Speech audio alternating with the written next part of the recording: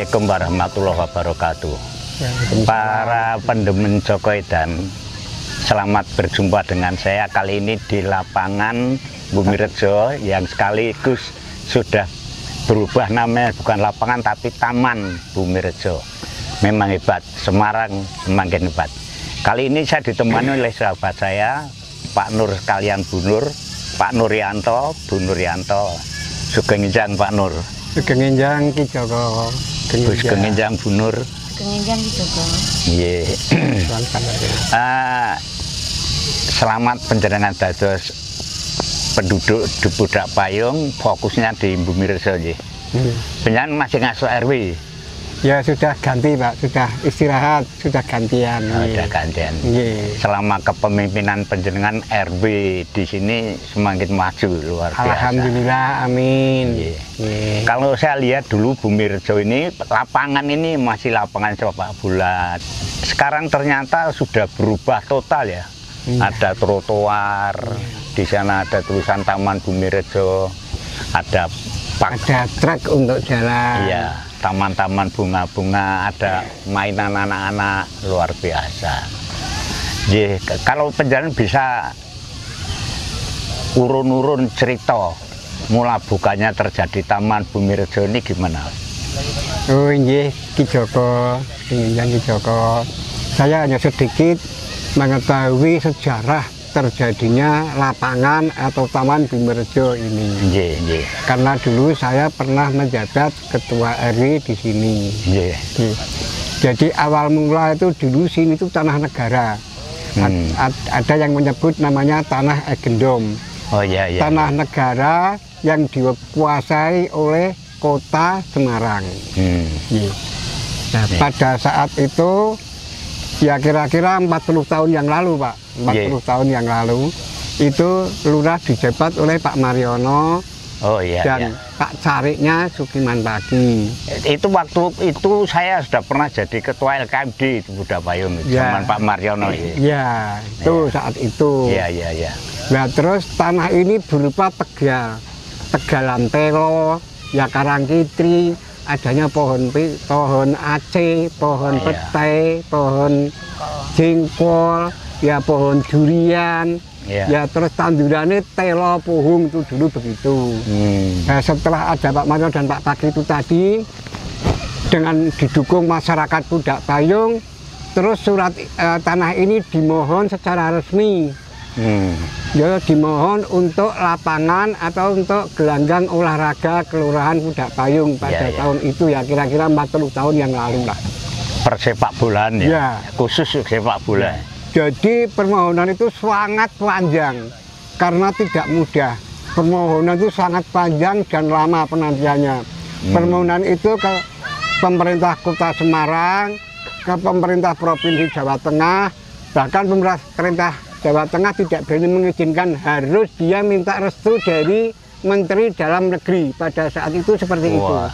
Prosesnya memang panjang dan lama. Iya iya iya. Nah, setelah itu ada surat, istilahnya surat izin lah, diperbolehkan untuk lapangan. Iya iya iya. Tuh.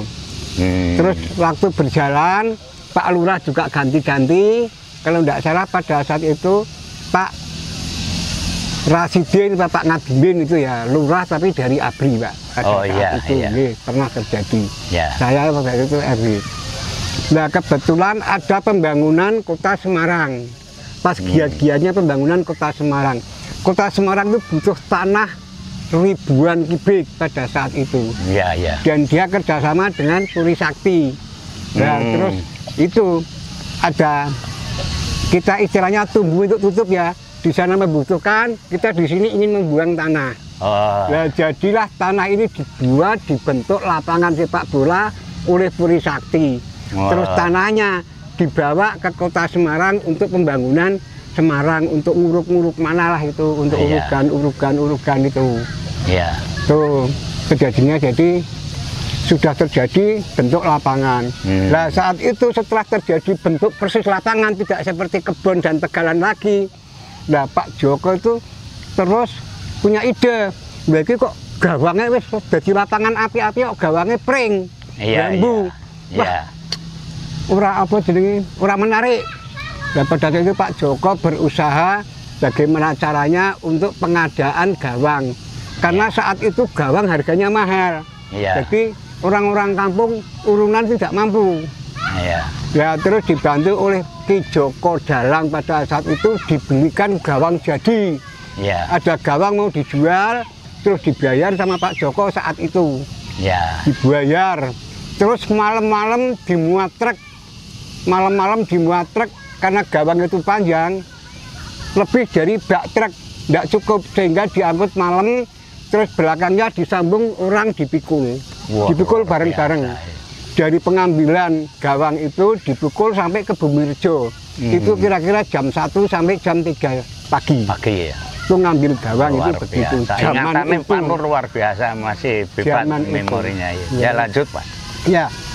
Akhirnya setelah gawang itu bisa dipasang oleh orang-orang olahragawan di Pudak Payung. Terus Pak Joko mengadakan piala, Hmm. piala untuk perebutan sepak bola. Iya. Tuh kesebelasan sana kesebelasan sana diundang. Itu diadakan eh, istilahnya pertandingan sepak bola pada saat itu ah, tarkam. Oh iya. Pialanya ya. dari Pak Joko dan tulisannya Ki Joko itu pada saat itu. Itu kira kira-kira tahun berapa itu? Ya kira-kira 40 tahun Pak saya umur 25.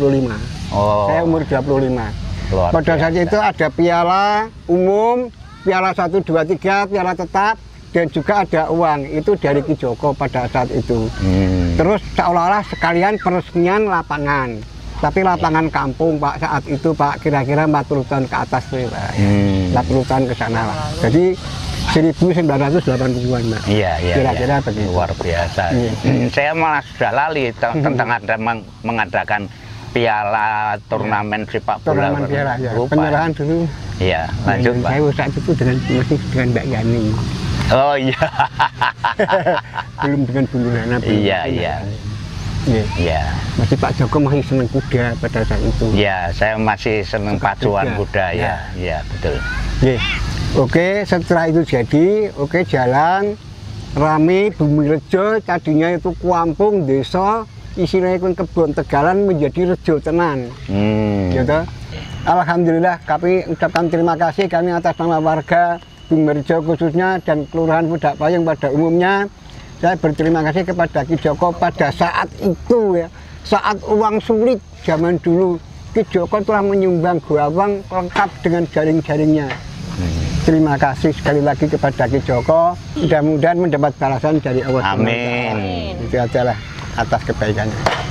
Terus saya selaku ketua RW ada pergantian RW namanya Pak Harsono yang pegang RW saat itu. Iya, iya, iya. Nah, Pak Harsono itu meneruskan. Pak Harsono itu dulu punya angkutan untuk usaha material namanya Happy Karya. Terus Iya. dia mengadakan piala Happy Karya pada saat itu. Terus bersambung terus sampai sekarang dari Pak Harsono ganti Pak Rudi Siswoyo namanya saat ini RW-nya Pak Rudi Siswoyo.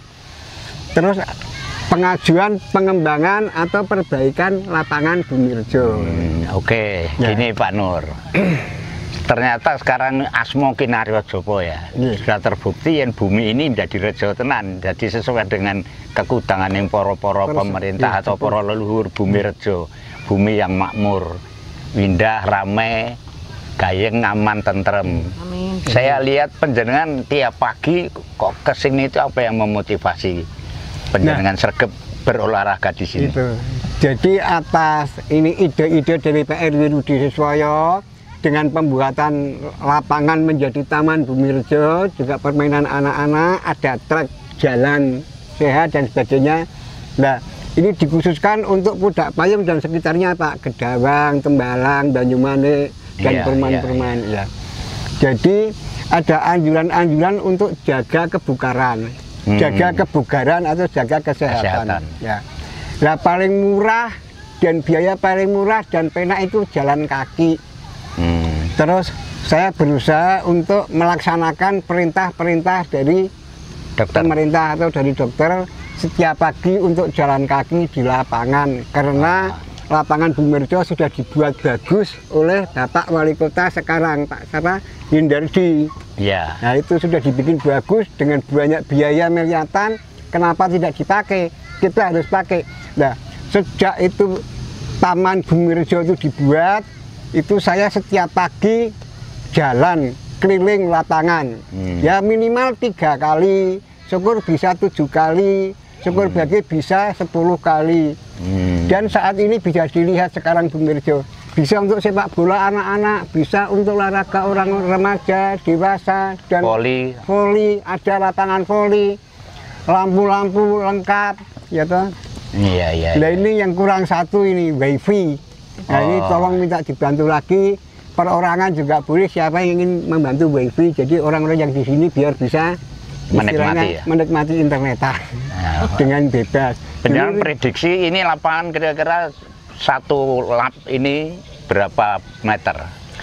Ya kira-kira 350 sampai 400 Pak. Wow. Dari titik pojok sampai titik pojok. Oke, lagi. Artinya satu ring lah. Iya. Satu ring itu kurang lebih 350 sampai 400. Penjualan bisa ngubeng berapa kali itu? Ya rata-rata tiap hari saya hitungan saya itu lima kali pak. Lima kali. Lima kali putaran. Lima kali putaran artinya hampir 2 kilo lah. Hmm. Tuh hitungan saya itu begitu hampir 2 kilometer. Nah, 2 kilometer berarti kan 2000. Kalau saya satu meter itu tiga langkah, ya hitung saja. Tiga langkah kali 2000. 6000. 6000. Nah, kalau 6000 langkah gerakan saya ini sudah menurunkan kolesterol, sudah menurunkan lemak apa? lemak darah, sudah menurunkan asam urat dan sebagainya turun semua. Hmm. Hancur semua. Termasuk tensi Tensi turun sudah. stabil ya? Iya, Jadi stabil. Pokoknya tiap pagi jalan. Mam, mampunya jalan ya jalan. Ya, Sudah, ya. yang mampu lari silahkan lari. Hmm. Yang mau lebih kenceng lagi silahkan. Untuk orang-orang seusia saya yang 60 ke atas cukup jalan kaki minimal lima kali tiap pagi. Oh. Itu anjuran dokter demikian. Atau tidak ukuran lima kali ya ukurannya waktu. Oh minimal 15 menit sampai 25 menit. Itu anjuran dokter seperti itu setiap pagi, setiap setiap hari. Iya, iya, iya. Sekaligus gede matahari. Oke, saya tiga hari ini sudah merasakan Iya. Betapa keringet saya keluar dihisap oleh lapangan Bumi Rejo ini. Hmm. Ini karena saya itu sok ser- sering ngobrol sama Pak Nur. Mm-mm. Nah, siji dokter, loro olahraga, pengen telu dukun.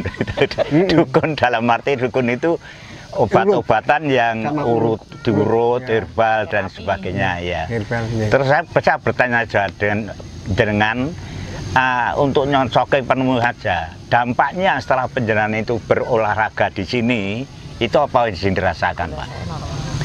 Yang dirasakan ini Pak, semutan apa namanya itu? Semutan ini bahasa liarnya apa? Keringgingan. Geringgingen itu tidak kami rasakan lagi. Hmm, Ya, itu hilang yang ya. pertama. Ya. Terus kram-kram itu sudah hilang, Ya. tidak datang lagi. Tangan untuk gini barang sudah Ya, penak. saya duduk silo di masjid sekian jam itu tidak ada kram, Hmm, tidak tidak ada ada keluhan. Ya, yaitu jadi saya konsultasi antara kesehatan dan saya praktekkan di lapangan. Hmm. Ternyata itu benar. Gula saya setiap saya periksa turun, tiap periksa turun. Padahal saya Hmm. tiap hari yang saya makan, yang saya minum itu macam-macam. Oh, tidak pantangan? Ya tidak ada pantangan. Luar biasa. Cuma disuruh dikurangi saja, tapi pantangan dilarang minum itu tidak ada. Dari dokter saya nggak ada. Hmm. Cuma dikurangi hati-hati dan tiap hari jalan. Oh, itu sampai keringetnya ben- itu gembrobios itu. Iya. Itu saya pen- iya. makan ini, minum ini, makan ini tidak ada larangan dokter. Penjara sudah pernah sakit apa stroke ya? Saya Ya. kerumuh kabar itu. Iya. Itu apa sekarang gimana Pak? Sekarang sudah sehat, sudah Ah. normal lah. Walaupun sudah 99 persen, belum Wih. 100 persen. Saya pernah gejala stroke jatuh. Saya divonis gejala stroke sama dokter. Hmm, Sudah. Bahkan saya enam kali saya jatuh. enam kali. Iya, naik sepeda motor, naik sepeda, ya jalan kaki, bawa motor bawa motor. Saya jatuh tuh saya hitung enam kali. Hmm. Alhamdulillah saya sekarang lari bisa, naik sepeda bisa. Naik sepeda motor luar kota touring masih mampu alhamdulillah Iya. Iya, kalau Ya. itu saya lihat sendiri Iya. ya, bareng saya ya itu saran-saran itu yang sekiranya murah dan terjangkau dan saya bisa melakukan saya laksanakan hanya itu saja seperti jalan sehat oh tiap pagi jalan empat kali lima kali itu kan murah pak nggak ada biaya Iya, ya iya. sudah pagi keluar jalan saja lima kali besok lima kali besok lima kali ini saya buktikan saya yang pernah jatuh dulu sekarang bisa jalan bisa lari bisa naik sepeda Iya, iya, iya, iya. bisa nyetir bisa apa masih sudah kembali lagi Iya, iya. alhamdulillah Oke. Yang terakhir, Iya. membuat atau memban- membangun lapangan ini atau membangun taman ini ora sithik ragate ya. ya pak Miturut cerita penjenengan tadi kan miliaran ya. Miliaran rupiah. Bangun yang miliaran sama yang menjaga kebersihan, keindahan, kesehatan itu luwih abot sing jaga lho. Saya minta penjenengan memberikan saran, pesan pada pengguna lapangan ini, monggo.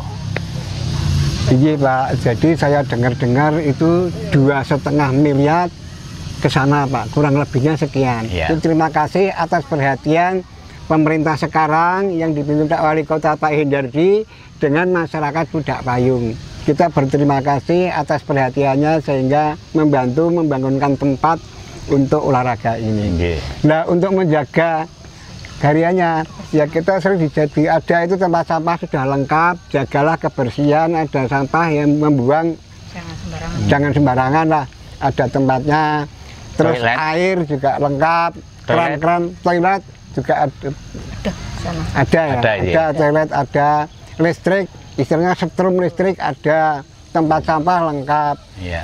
Cuma wifi yang belum ya. ya Belum.